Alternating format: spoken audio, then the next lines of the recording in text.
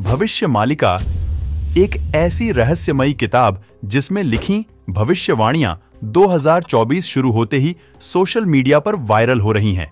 ऐसा माना जाता है कि आज से 600 वर्ष पूर्व उड़ीसा में जगन्नाथ मंदिर के पास जन्मे संत अच्युतानंदास जी को भूत, वर्तमान और भविष्य तीनों कालों को देखने की दिव्य शक्ति प्राप्त हुई थी और उन्होंने भविष्य में होने वाली घटनाओं पर एक पुस्तक भविष्य मालिका लिखी थी। और आज वर्तमान में घट रही घटनाओं की वजह से उनकी भविष्यवाणियाँ पुस्तक से निकलकर सोशल मीडिया पर तेज़ी से वायरल हो रही हैं, जिसमें से अधिकतर भविष्यवाणियाँ पृथ्वी के अंत को निकट बता रही हैं।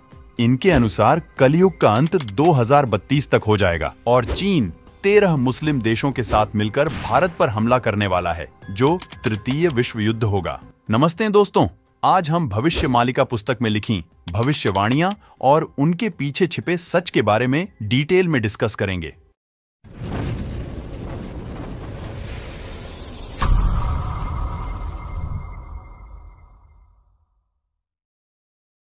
दोस्तों, सबसे पहला प्रश्न ये उठता है कि जब भविष्य मालिका पुस्तक को 600 वर्ष पूर्व ही संत अच्युतानंदास जी लिख चुके थे तो इतने वर्षों से ये पुस्तक कहाँ थी?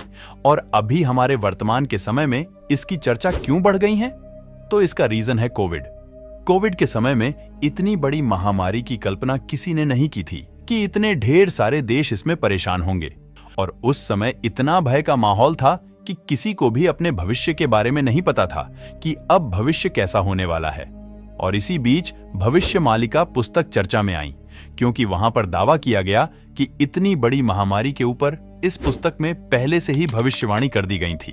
और न केवल कोविड, बल्कि बहुत सारी भविष्यवाणियों को संत अच्युतानंदास जी ने इस पुस्तक में ऑलरेडी की हुई हैं, जो धीरे धीरे सच होती हुई लोगों को दिखने लगी।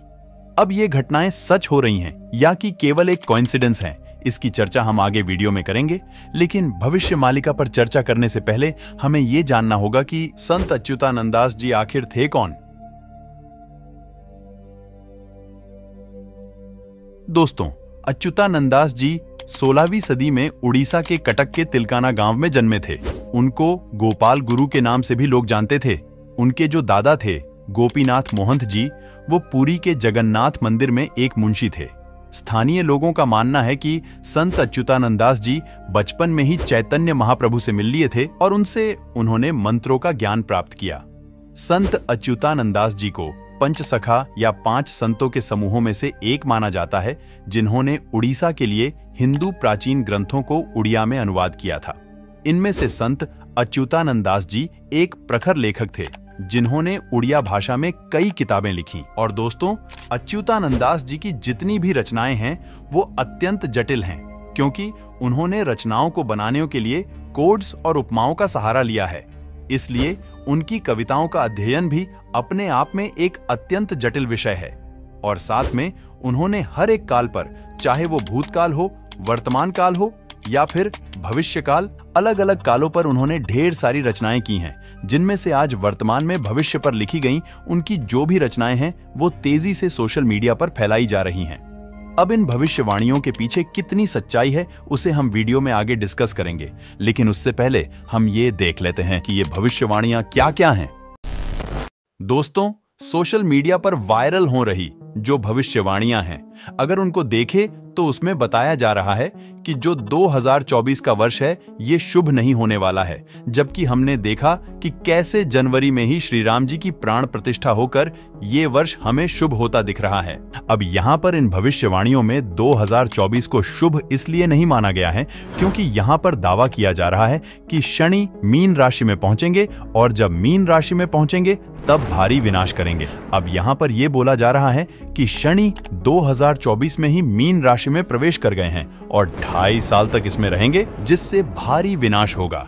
यहाँ पर ये दावा किया जा रहा है कि किसान जो हैं, वो खेती करना बंद कर देंगे। जानवर इंसानों पर हमला करेंगे और इसके साथ साथ पृथ्वी में ऐसी भौगोलिक गतिविधियाँ होंगी जिससे बहुत ढेर सारे भूकंप हमें देखने को मिलेंगे अब इन्हीं भविष्यवाणियों के बीच, जब 2024 के शुरुआत में जापान में भूकंप आया तो ये भविष्यवाणियाँ सोशल मीडिया पर और भी वायरल हो गईं।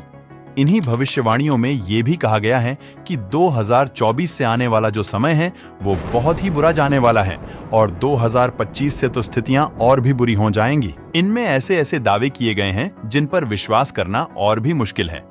पुस्तक में ये लिखा है कि सूर्य के साथ एक और आसमानी पिंड भी दिखेगा, यानी आसमान में आपको दो दो सूर्य भी दिखेंगे। और इनमें से एक बंगाल की खाड़ी में गिरेगा, जो उड़ीसा को जलमग्न कर देगा। ये समुद्र का स्तर इतना बढ़ा देगा कि जगन्नाथपुरी के बाईसवें सीढ़ी तक पानी आ जाएगा। अब जहाँ एक तरफ़ प्राकृतिक आपदाएँ होंगी, वहीं दूसरी तरफ़ महायुद्ध भी छिड़ जाएगा। पुस्तक के अनुसार 2022 में ही तीसरे विश्व युद्ध की नींव पड़ जाएगी और 2025 के आते आते तीसरा विश्व युद्ध छिड़ जाएगा और इस भविष्यवाणी को साबित कर रहा है। वर्तमान काल में चल रहा रूस और यूक्रेन और बहामास और इसराइल के बीच का वॉर। इन्हीं भविष्यवाणियों में ये भी दावा किया जा रहा है कि इस महायुद्ध के बाद पृथ्वी की कुल जनसंख्या चौसठ करोड़ ही बचेगी। और साथ में जो प्राकृतिक आपदाएँ होंगी, उनकी वजह से सात सात दिन तक पृथ्वी पर अंधेरा बना रहेगा। इंटरनेट पर फैली भविष्यवाणी के आधार पर ये सभी घटनाएँ 2022 से लेकर 2029 तक चलेंगी और उसके बाद पृथ्वी का अंत हो जाएगा। और जब तक ये घटनाएँ चल रही हैं, तब तक भारत में एक अविवाहित संत भारत में राज करेगा और लोग इसको योगी आदित्यनाथ से कंपेयर कर रहे हैं। अब जैसा मैंने वीडियो के स्टार्टिंग में बताया था कि पुस्तक के अनुसार भारत के ऊपर चीन के साथ तेरह मुस्लिम देश आक्रमण करेंगे और जब ये आक्रमण होगा, तब उड़ीसा के जो राजा होंगे, वो राजा गजपति महाराज होंगे, जिनकी कोई भी संतान नहीं होंगी। और वर्तमान में उड़ीसा के राजा यही हैं और उनका भी कोई पुत्र नहीं है। अब इन भविष्यवाणियों में एक और चीज़ बताया गया है कि जो तृतीय विश्व युद्ध होगा, वो छह साल छह महीने तक चलेगा और इसी बीच भगवान कल्कि का भी जन्म होगा, जो इस युद्ध में भारत का नेतृत्व करेंगे और धर्म के लिए लड़ेंगे। इस युद्ध के बाद पूरा का पूरा यूरोप नष्ट हो जाएगा। अमेरिका पानी में डूब जाएगा और रूस एक हिंदू राष्ट्र हो जाएगा। पुस्तक के अनुसार लोग ये भी दावा कर रहे हैं कि ये जितनी भी घटनाएँ होने वाली हैं, इसका संकेत हमें पुरी के जगन्नाथ मंदिर से ही मिलेगा। जब भी कोई आपदा आने वाली होगी तो मंदिर के आसपास ऐसी घटना ज़रूर घटेगी जो आपको संकेत देगी।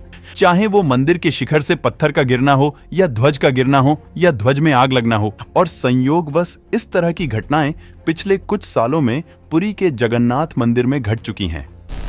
तो दोस्तों इंटरनेट पर जहाँ एक तरफ़ भविष्य मालिका पुस्तक से भविष्यवाणियाँ आग की तरह फैल रही हैं, वहीं पर जो सच के रूप में थोड़ी बहुत घटनाएँ प्रस्तुत की जा रही हैं, वो उस आग में घी का काम कर रही हैं। दोस्तों, अब सबसे पहले यही देख लेते हैं कि जो भविष्यवाणियाँ सोशल मीडिया पर वायरल हो रही हैं, वो असली पुस्तक में हैं भी या नहीं?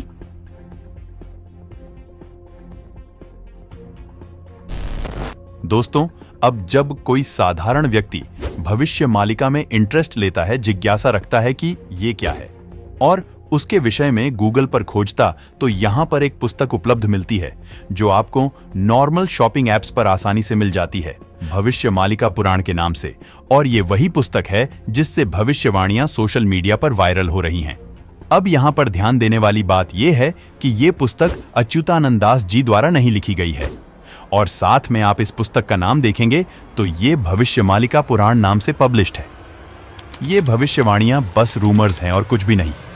आपका इन भविष्यवाणियों पर क्या कहना है अपनी राय, हमें कमेंट सेक्शन में ज़रूर बताएँ और इस वीडियो को अपने दोस्तों और फैमिली मेंबर्स के साथ शेयर करें, ताकि उनको भी इन रूमर्स के पीछे के सच्चाई के बारे में पता चले।